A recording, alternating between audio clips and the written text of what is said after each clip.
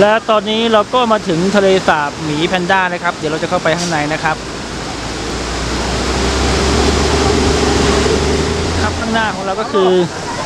ถึงแล้วทะเลสาบหมีแพนด้าหมีแพนด้าเขาว่าน่ารัก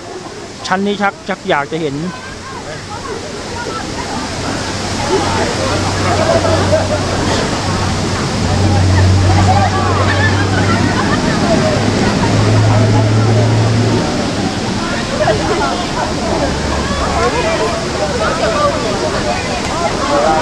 嗯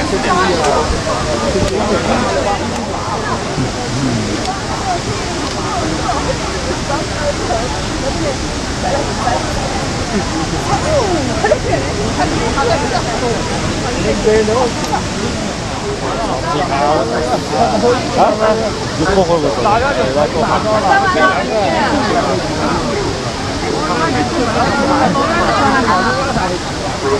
嗯